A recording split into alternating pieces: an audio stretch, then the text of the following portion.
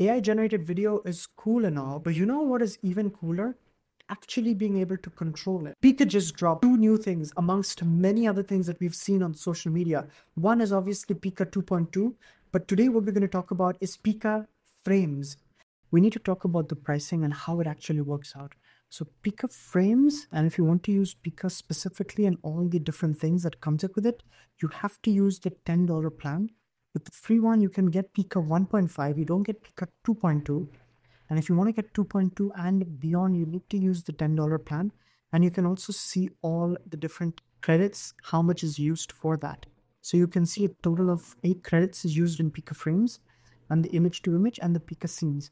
So you definitely need a price plan in order to use Pika frames. Pika frames is basically making the random chaos feel like professional from Holy shit! completely professional as you can see in these demos right here. Now what it means is, and I'm gonna actually first we sign in. So we click on the sign in and I'm gonna sign in.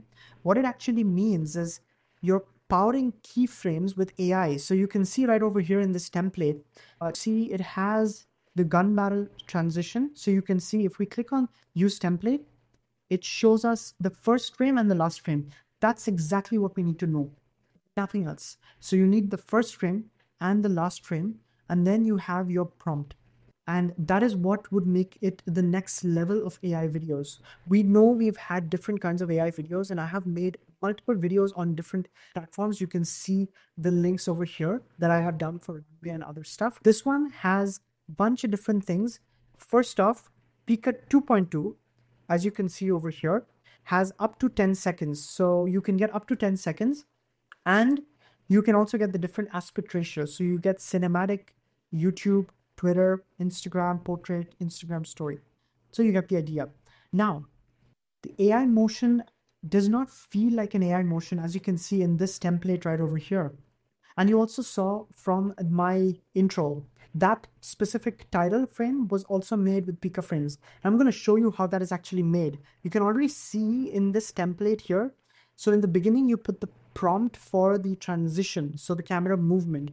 I'm going to have link in the description. You can actually read through. I found a very nice article where you could find different camera movements. It would be nice to know what are those movements. You can have a tracking shot, a dolly shot, basically think cinematic shots. And here you have smooth frame transition, shooting bullet out of a barrel of the gun, hyper realistic, cinematic, epic not exactly a sentence, but that is the result that gives us this one. Or for example, let's say this image over here.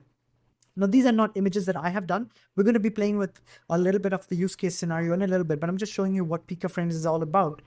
The biggest thing is you're able to also produce 1080p resolution. So if we go over here and if you click, you can see we have 720 and you have 1080p. And then you click on apply. So you basically get 1080p resolution and you can see the transitions are very smooth, very smooth. And you can see woman turns around and transforms into woman with a new outfit.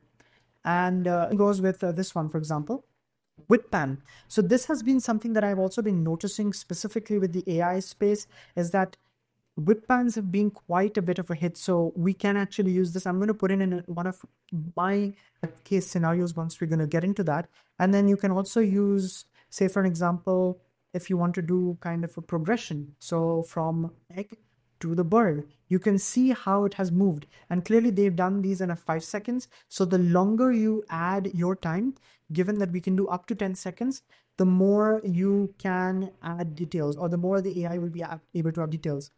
You can see all of them. You know that you're using Pika frames. If you see this option over here, that means you're using Pika frames. Now here as well, this is another one for anybody who's thinking of doing like a fashion wardrobe change. This would be something interesting. So here you could see like this woman, she is switching into this Halloween costume. If you wanted to only look at the Pika frames, then you go over here and click on Pika frames. So Pika frames is basically what literally is a non-complicated way of keyframing, what you would normally do in video editing except there is no manual editing. It's clicking and it is literally using two images as we have just seen with our examples right over here given to us by Pika. You have the first frame and the last frame and the cat is transformed into a dog. So you see how that transition happens. And you need to also make sure that you have two videos uploaded and you need to set your durations. Again, as I mentioned, you can you can you can also nuance it up to from as less as one second all the way up to 10 seconds. And now I'm going to actually show you some of the use case scenarios. You've already seen one, which is the intro of today's video. I actually, for the first time, added an intro which was made using the Pika frames. I'm also going to show you that. So just stick around for that to see how I made that also for my video channel. And you can also make that for you if you ever wanted to make something for a creative ad spec. So that is something to keep in mind. But here are some use case scenarios which I found very interesting, which you could also implement. So let's go ahead and dive into it. We saw the templates. Now we are going to be jumping into what we are going to talk about is some of the creative use case scenarios. So frames is literally what you're doing one frame at a time. So now we're going to, let's say, start with the intro. So you saw the intro just now, which was my logo and it's a swirl. So if we look at it, so the reason the way you can look at your existing image is you go to reprompt. The minute you do that, you can see that I have my first frame and last frame. So that's basically the idea that you have across the board. So you have your first frame, which is in this case, I have this image over here. Now I created this image using ideogram. So if you want Mind you, you can also do it using something like a Google image. So if you go to Imagen, Google, and if you search over here under Google Images Lab, you're going to be able to find ImageFX. You can also get something from here for yourself. So maybe you want to look for something from gradients or you get the idea. So here what can happen is you can actually get for yourself something that is really nice. Like you see here in my case, we have the swirl that comes into the logo pop. So you see what I did here is smooth overlap transition to the word mark. You can sometimes mention it, but it's a good thing to have the transition part in the beginning. So that's the first one. Now you can see here what I've done. You can see that she transitions into an older child. So again, you just use smooth, seamless transition. But if you say, for an example, wanted it to be more consistent, you could also do that. For the purposes of this one, I actually used Midjourney. So if you go over here and then just go down right over here, you could see I used Midjourney. So you can actually use character reference. I'm going to make a video on that. So uh, feel free to check around my channel because I'm going to be making a video about that. I've made a couple of videos about Midjourney previously. But you could do that here. So you could do some character reference to get some consistency. But you can see what I've done here. So I'm basically created two steps. Now, if I do a reprompting here, you can see what's happening is that I have the first image of the child and then I have the second image of the woman. And again, if, you go here, you can see this is my prompt. Again, please feel free to take this prompt. I'm going to have all the prompts down in the description below for you to choose for. Again, you can also use this same exact prompt in Imagen effects, but do make sure that this is 100% free, but they are also a little bit more restrictive. So you might need to be a little mindful of that. You can also say, for an example, do it in a square format and then you should be able to get something. Sometimes they do have an issue. So I'm just showing you that you can actually do it here as well because Midjourney is not exactly free but you get an idea. So this is the young one. And then after a certain couple of tries, then I got the big, the woman, other woman image, which would be right over here. So then I got this image. See, now that's the thing. Sometimes you don't get that. So you could still use this prompt. So let's say, for example, if you wanted to use this prompt, you can still use it in the ImageFX. So ImageFX is a free AI image generator by Google. All you need is just to sign in with your Google. So there's no charges whatsoever. So you can use this if you don't have any other paid AI image generator tools with you. So this is another place that you can look at. So these are the two images that I did for the first set. Then for the second set, as you can see right over here, the image goes from young to old. And then if you wanted to add some more spice to it, what you could do is you could take so this is exactly what I did here. I took the first frame and then the last frame. And then for this one, this specific image, I took the last frame from here and then I made that the first frame. So you could see it exactly. So I made the last frame and then I put in the first frame. And then, then I get this result. Clearly you can see that it is transitioning into an older person. So if you go to Imagen, you can already see that it creates based on this prompt. So feel free to use this prompt if you want, and you can also use ImageFX but you have to just be a little bit wary that when you're talking about child or teen, they probably may not be able to generate that. So you might have to use some other tools for that. I have also used ideogram for mine. So some of them were in ideogram, but I'm going to still nevertheless give you the prompts for the images that I've generated. Now for this one right over here, if you wanted to, let's say, do a product swap, or let's say if you wanted to change the outfit, this is a very good example. So let's say this pant, we changed it into a wild pant. You see, it just seamlessly changed. We did smooth, seamless transition.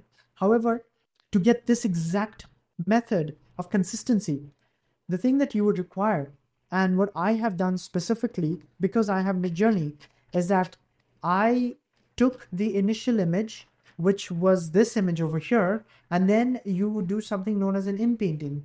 So you go over here, and then you basically are creating an edit through it. So say for an example, if I were to go to the editor, and then if I click on specific parts, then I essentially mention that I just want this part to be XYZ.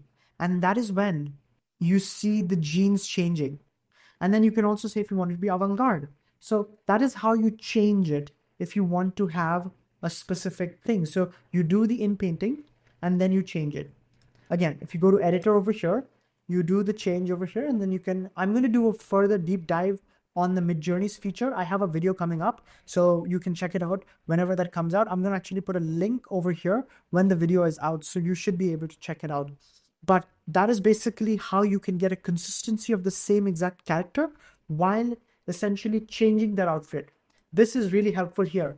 But in the Pika part of it, Pika side of things, all you have to do is put smooth, seamless transition, and then you see how it changes from my blue jeans to my white jeans.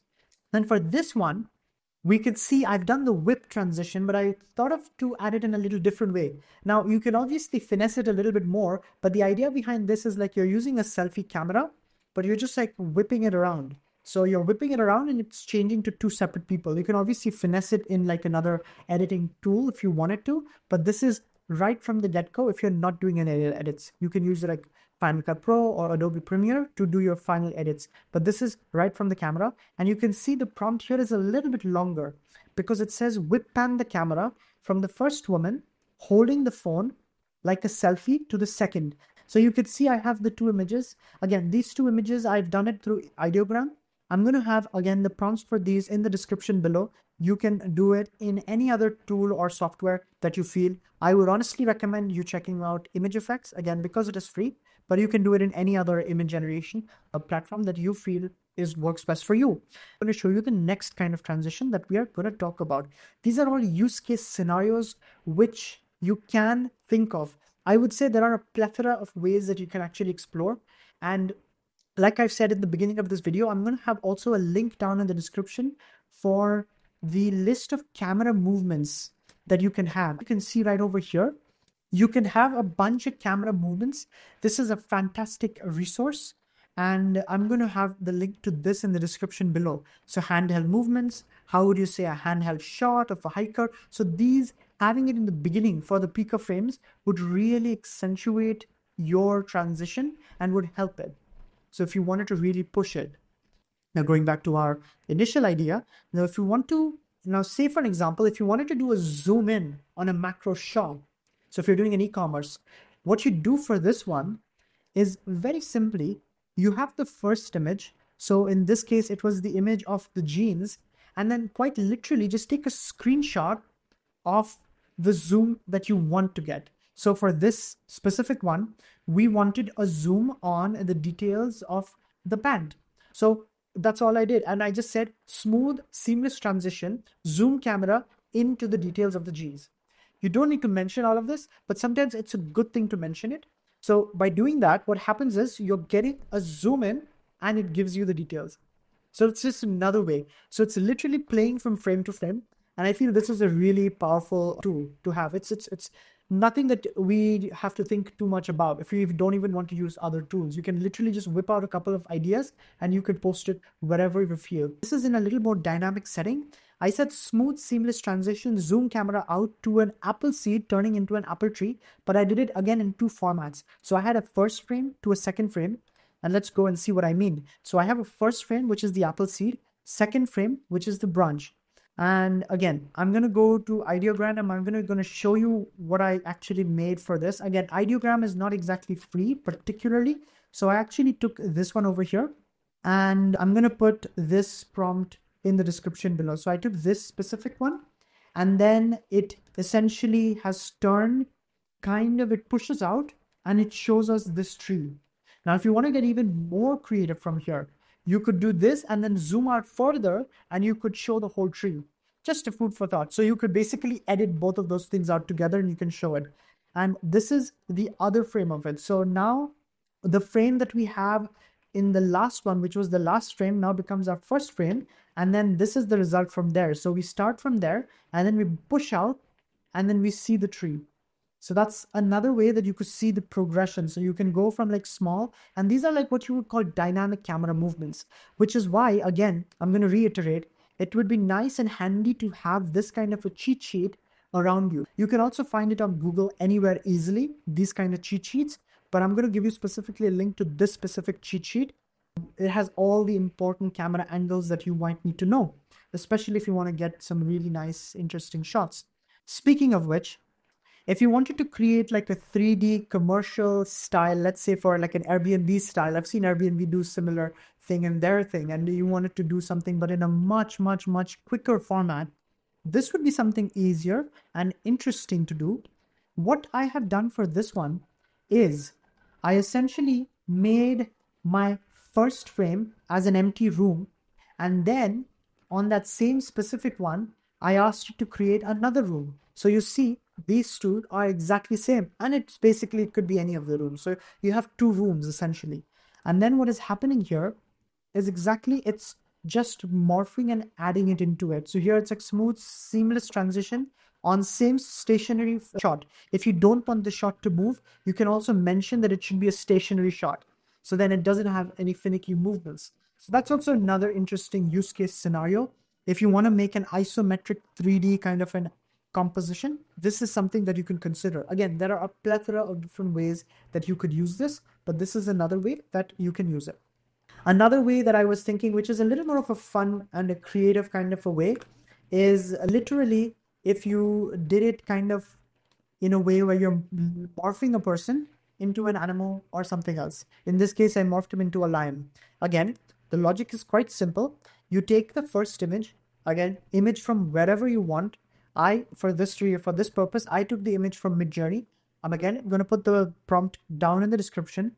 And then we had also another prompt. You can also put images. So if you just want an image, like say for an example over here, what they had done in this template, this was an image. So if you just want to do an image, you can also do an image. So that's completely up to you.